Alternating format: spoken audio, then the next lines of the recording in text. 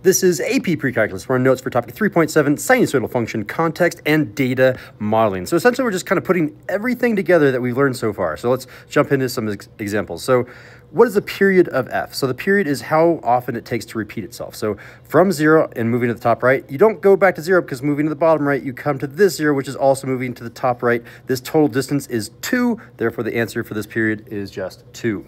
What about example two? Um, we have this cosine function, and we appear to have phase shift this time, uh, which of the following could represent the constant c. So I want to look at the phase shift. So cosine normally would start at a maximum. It should start up here and then do this but it's not doing that. It's now starting at a minimum. So it either has to flip it upside down by making this a negative, which it's not doing, or we could phase shift it, which it clearly is doing. So we can kind of ignore the period. We can kind of ignore the minus one because those are already set. We already know that the period uh, is pi.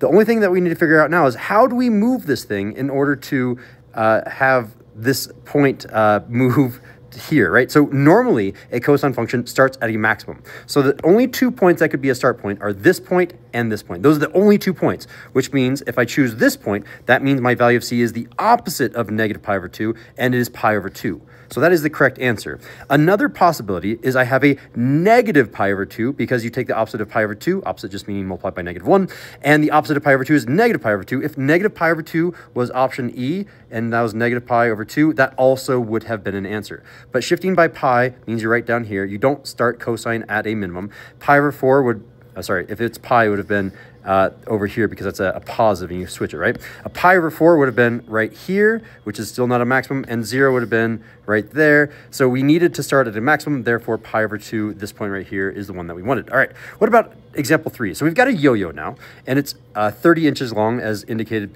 because it's in the text and because this length is 30. Um, we know at time is equal to zero that the yo-yo is beginning to rotate and is starting um, at that start position at the very bottom. And at time is equal to five, the yo-yo has completed 20 rotations. All right, so let's use this information right now to immediately construct our period. Um, because the period is the most important part of this question. Notice that all of the amplitudes are 30, all of them are sine. The only thing that's different here is what is the period. So I can kind of ignore everything in here and I'm can, like focused and zeroed in on this one thing. So I have um, our period in general is um, how many things are happening per time. And generally speaking, we want that time to be one. So per one second would be ideal, and then number of things happening up here. So in this case, our period is 20 rotations um, in five seconds. In five seconds. Seconds. So, oh, and I, I, am realizing that this is backwards, isn't it? Because period is a unit of time. I shouldn't be dividing by time. I, I super apologize here. I should really be saying this. It's time per things, and we usually want that as one second for, or I guess it's, we want the denominator to be one. Whoa, that's a eraser that's way too big.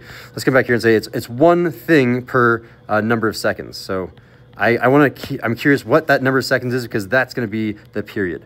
So let's go ahead and rotate this one around as well. And we have seconds here. There we go.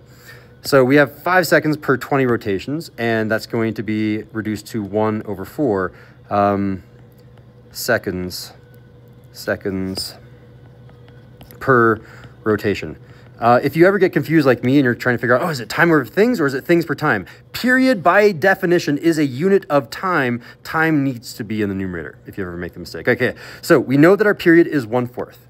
So if I know that the, I'll say it again, period is equal to one fourth. Therefore, I can use the equation for our sine and say that uh, period for our sine is going to be equal to 2 pi over b. And I happen to know what the period is. That period is 1 fourth. So I can say 1 fourth has to be equal to 2 pi over b. And then I can solve for b, right? So most people solve this uh, by cross multiplying. You can say b times 1 is b, and 4 times 2 pi is 8 pi, and there's our value of b, 8 pi. The correct answer here is D because that's one that has an 8 pi in front of the t. And I'm just looking over here at my answer key, making sure that I got that one correct. I did get it correct. Yes, okay, example four. We've got a clock mounted to a wall And we are going to represent um, that with a sine function. It has phase shift, it has period modulation, it has moving the midline up and down, and it has amplitude. Yes, yes, yes. Um, 70 and 52 are the maximum and minimum values. Okay, so let me draw a quick little picture here to help me out. So whenever I draw these pictures, this is not the y, or this is not the x-axis, it's not the t-axis. It's just the midline. So if you want to make a note, you can say that this is the midline. And I happen to know that if I'm given a maximum and then a minimum, I'm going to randomly put the, okay, well, uh, not randomly, I guess. Zero is right here. So I'm to say maximum, and then it comes down to a minimum. And then I can kind of sketch out that function. So it's going to go down like this and then back up, right? So I know that the coordinates here are, this is 0 and 70. And then over here, my time is going to be 30. And my height over here is going to be 52. So I'm to say 52. So the question is, what is this midline? Um, because D is the midline. That's one of the things I need to figure out, right? Well, this midline is always going to be the average of 70 and 52. So the way that you do average is you add those two numbers and divide by 2. So I can say that our value of D is the midline is 70 plus 52 and then I just divide those by 2. So 70 plus 52 is 122, and when I divide that by 2, it's 61. So I know my value of d. Uh, now to find the value of a. So I can do that second. I can't really do it first because you kind of need the midline. The value of a is the amplitude. How much up and down did you go? Well, now that we know that this value of 61, we can go up to 70 by adding 9. So that means our amplitude is 9. Just as a uh, way to remember this, uh, sometimes amplitude can be negative. Um, if it starts at a minimum and then goes up uh, for cosine, ooh, this is sine though. Um, for sine, I should be going up or down. So is this the correct answer? It could be a negative 9, depending on what they do for their phase shift. So we have to be careful here. Let's just go ahead and assume it's a positive 9. Um, there's no other way to do this unless we happen to know exactly what the phase shift was. So I'm going to go ahead and ignore what point I was trying to make, and let's move on to the next example. Example number 5 we've got an average monthly temperature, and there is the temperature um, of Indiana, of central Indiana.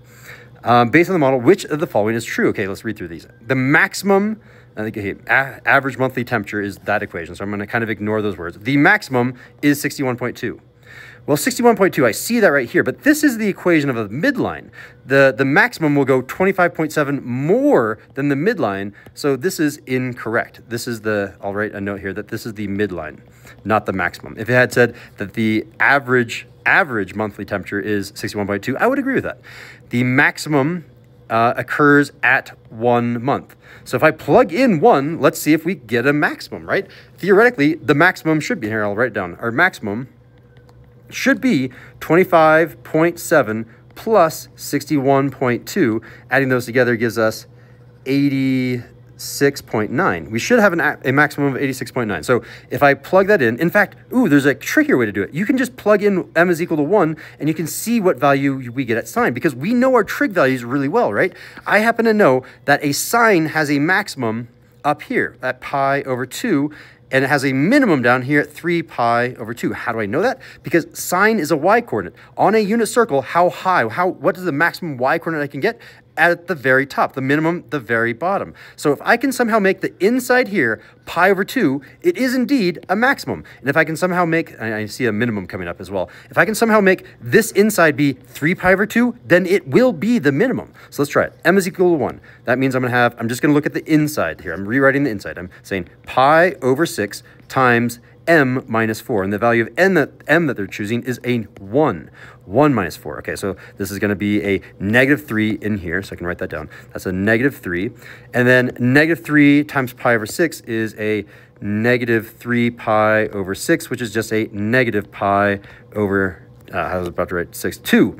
So negative pi over 2 actually goes this direction, clockwise, down here. So what's really interesting, at m is equal to 1, we actually have a minimum down here at 3 pi over 2 or negative pi over 2, which are the same values, essentially. So um, if this question had rewritten this and said minimum, it would have been true, but this is unfortunately saying a maximum, and that maximum happens at a minimum of one month. So incorrect, unfortunately, for B. What about C? The minimum um, monthly temperature is 35.5. Well, I don't know. The minimum is the midline, and then we're going to subtract the amplitude. So it's 60, and I can write down my work on what's going on here. This is going to be the minimum. The minimum is that midline uh, of 61.2, and then I'm subtracting the amplitude of 25.7, and that's going to be what is that going to be?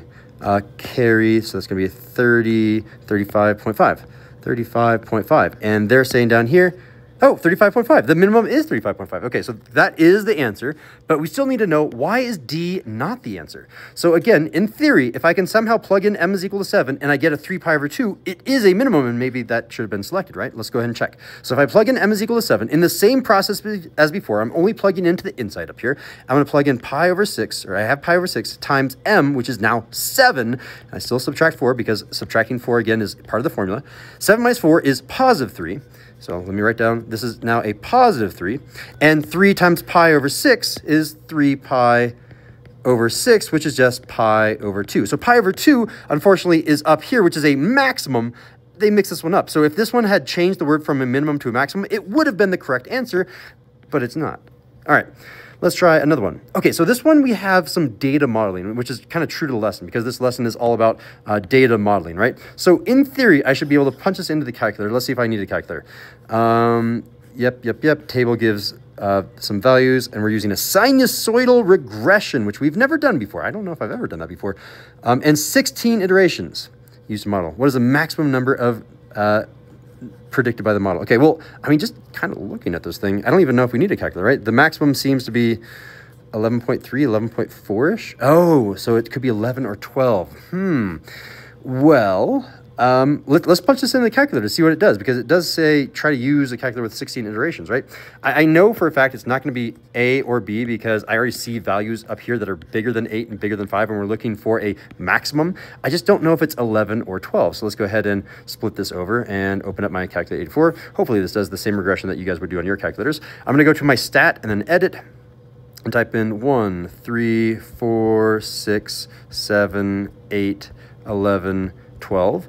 And then over here for my next list is 11.4, 9.7, 8.2, 5.2, 5, 6.2, 10.5, and 11.3. Hopefully I typed those in correctly as I was saying them out loud. And then we're gonna go to stat, and then we're gonna go to the right to calculate. And then I assume if I scroll down long enough, I will find, uh-oh, is it not there? A, hmm, I don't know if this calculator has it. Well, that's kind of lame. Um, there should be a sinusoidal regression, but there is not a sinusoidal regression.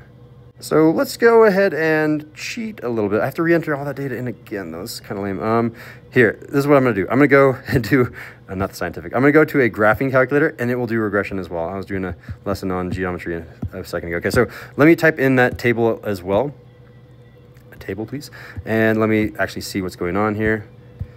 Uh, I want you to be over there. Let's type in the following one, three, uh, good guess, but no, it's uh, four, then six, then seven, eight, 11, and I think the last one was 12. It is 12, okay. And then over here, it's gonna be 11.4, 9.7, 8.2, 5.2, 5.0, 6.2, 10.5, and 11.3. I didn't really need to do 5.0, did I? So what I can do now is I can click on this button in the top left and I can drop this down and do a sinusoidal regression and I've got a function.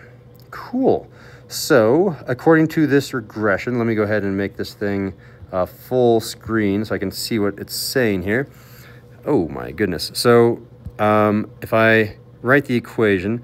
So I'm seeing that it is, can I make this even bigger? There we go. Um, my value of A is the 3.1175, and then I have a midline of 8.21535. Uh, so um, if I take my midline and my amplitude and I add them together, that should be my maximum. My maximum is about 11.33. And over here, we are saying, is it 11 or 12? Well, um, 11.33 is really close to 11. I assume that's what we're supposed to do. Uh, it's weird that we didn't get exactly 11 or exactly 12. Um, but yeah, there we go. I think that's the end of the notes for topic 3.7. The next one is 3.8. Yep, that concludes the video for 3.7. Thank you for watching. I'll see you guys later.